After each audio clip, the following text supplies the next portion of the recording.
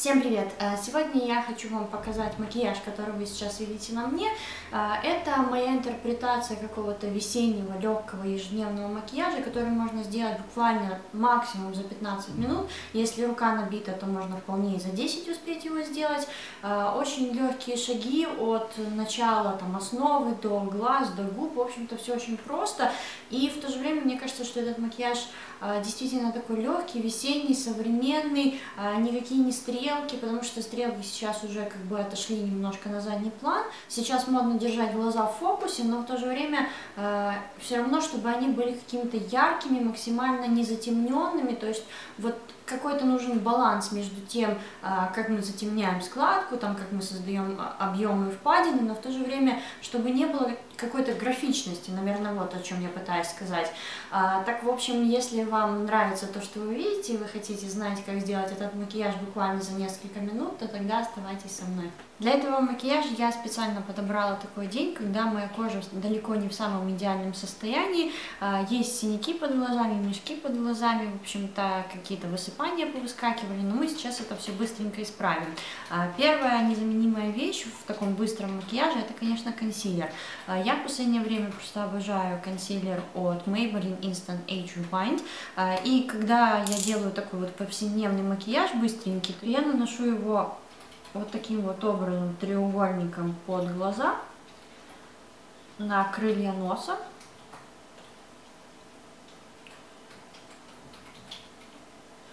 и также немножко на спинку носа, для того, чтобы а, максимально высветлить эту зону центральную.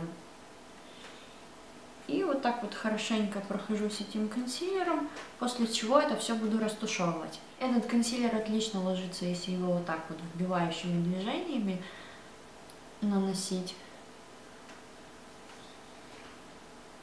Вот, мне кажется, что уже намного лучше, но теперь мне нужно выровнять тон. Для того, чтобы выровнять тон, я очень люблю использовать какие-то минеральные пудры. На каждый день я не люблю заморачиваться с жидкими тональными основами, потому что мне кажется, что это немножко больше времени занимает и выглядит менее натурально. Пудру можно положить очень легкой вуалью, которая буквально просто выровняет тон, э, и лицо при этом будет очень казаться свежим.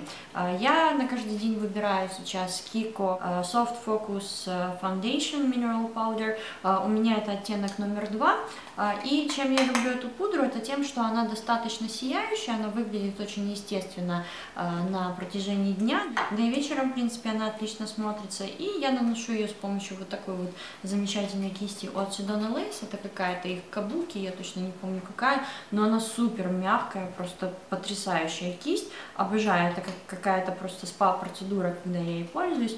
И, в общем-то, прохожусь этой пудрой вот так вот быстро круговыми движениями по всему лицу, закрепляю одновременно консилер и выравниваю общий тон лица. Чем мне особенно нравится эта кисть, так это тем, что она такая вот огромная, и буквально вот в пару вот таких вот движений сразу покрывается большая часть лица, поэтому сильно много там не нужно как-то... Ой! Пудра упала. Ё!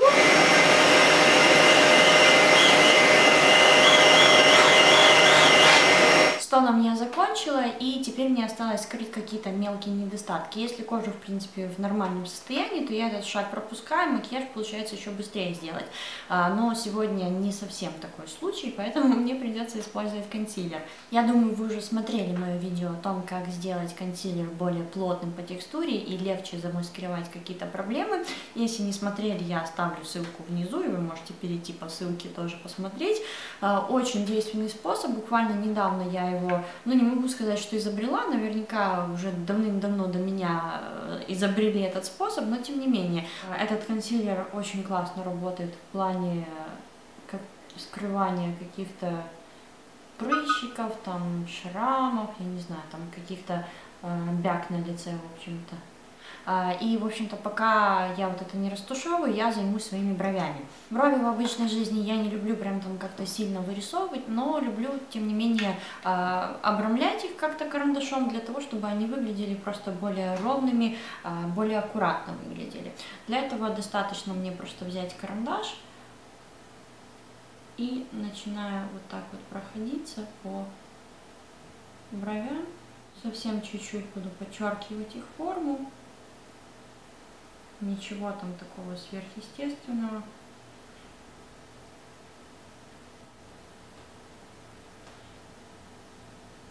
И уложить тоже гелем для бровей, для того, чтобы просто не думать о них на протяжении всего дня. С лицом на этом этапе я, в принципе, закончила. Дальше нам осталось нанести только бронзер румяна, но я это буду делать после глаз. А теперь давайте перейдем к глазам. Я буду использовать сначала э, базу под тени от MAC э, в оттенке Soft Ochre, для того, чтобы выровнять по тону свое веко. И нигде у меня никакие ни венки не торчали, ничего такого не было. Для создания этого макияжа мне понадобится всего одна палетка, три оттенка теней и четыре кисти. В принципе, можно а, обойтись и тремя кистями, но если уж прям совсем э, удобно, чтобы было, то лучше, чтобы было три. Первый оттенок любой по вашему выбору, это какой-то светлый должен быть оттенок, а, либо шампанского, либо светло-розовый, какой-нибудь очень такой а, светоотражающий оттенок. Его задача будет в том, чтобы сделать глаза более яркими, общий вид получается более отдохнувший, такой сияющий. Теперь на растушевочную кисть я нанесла светлый э, коричневый оттенок, такого теплого оттенка практически, который граничит с оранжевым. И наношу это в складку века, растушевываю с предыдущим оттенком. Как по мне, то этот оттенок очень такой тоже освежающий, очень весенний, э, приятный и красиво выглядит. Все, вот так вот, в принципе, бум-бум-бум, и можно переходить уже к следующему шагу. На более детальную растушевочную кисть э, я наношу более темный оттенок коричневого и прохожусь им буквально вот так вот а, в самой складке и на внешнем уголке глаза. Это делает наш макияж менее плоским и немножко более выразительным. Эта кисть просто идеальная для того, чтобы растушевывать вот так вот на подвижном веке а, два оттенка между собой. И в складке она, в принципе, тоже отлично добавляет оттенок, и ей можно а, очень хорошо добавить глубину оттенка. На нижнем веке я дублирую тот же теплый оттенок коричневого, светлый, соединяю нижнее и верхнее веко и прохожусь вплоть до внутреннего уголка, до того места, там, где я наносила а, светлый оттенок шампанского.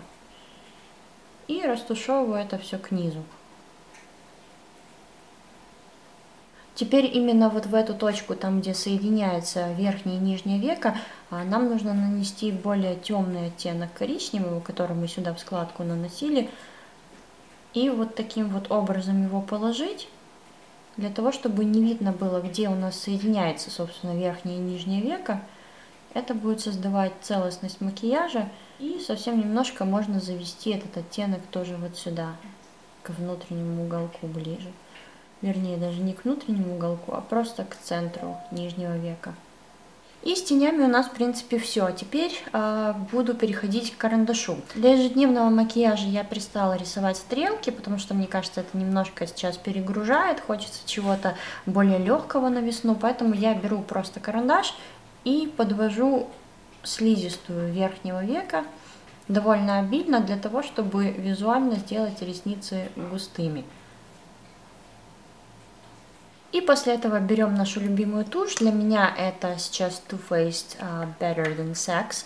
Uh, посмотрите, как выглядит сейчас мой глаз. И вот я начну сейчас прокрашивать ресницы, и вы увидите, насколько большую разницу делает эта тушь. Я ее в последнее время просто обожаю, она потрясающая. Uh, добавляет объем, вот буквально за несколько взмахов уже такое впечатление, что у меня просто миллион ресниц. Причем она не склеивает их, а именно очень красиво вот так вот складывает как будто вместе, укладывает, добавляет объем, добавляет длину. В общем-то, я просто в диком восторге от этой туши. Нет, ну, по-моему, до и после просто ни в какое сравнение не идет, потому что э, ресницы сейчас, конечно, выглядят совсем по-другому. На предыдущем кадре их как будто даже видно не было. На нижнее веко я буду наносить а, L'Oreal эффект бабочки. Ну вот и все, макияж глаз готов, давайте теперь заканчивать лицо. Я предлагаю использовать бронзер, чтобы лицо не выглядело таким плоским, а, и нанесу его вот так вот, буквально немножко на скулы, на виски тоже. Казалось бы, бронзер сильно большой разницы не делает, но все-таки лицо становится каким-то а, более живым, что ли. И давайте закончим это все румянами. Румяна сегодня я буду использовать свои любимые от Sleek а, из палетки Face Form. Очень мне нравится, как они выглядят, буквально совсем немножко вот так вот я их добавляю, и это создает какой-то такой вот немножко сияющий, здоровый эффект. Для ежедневного макияжа как будто даже хайлайтер не нужно использовать, это такой продукт все в одном. И заканчиваю макияж я своей базовой помадой любимой. Uh, у меня это такой нежно-розовый оттенок. Помада от Faberlic номер 4368. Очень я тоже люблю эту помаду, она приятно лежит, хорошо увлажняет губы и делает их как будто даже немножко больше. Вот и все, теперь осталось сделать прическу, и я сразу же к вам вернусь. Ну вот и все, я слегка уложила тоже волосы, у меня это заняло буквально, может, пару минут. И, в принципе, все, больше как бы ничего не требуется. Мне кажется, что этот образ получился очень целостным, но в то же время абсолютно не перегруженным. Если и вам он понравился, то не забудьте поставить мне пальцы вверх, а, подписывайтесь на канал, оставляйте комментарии и до встречи в новых видео. Пока!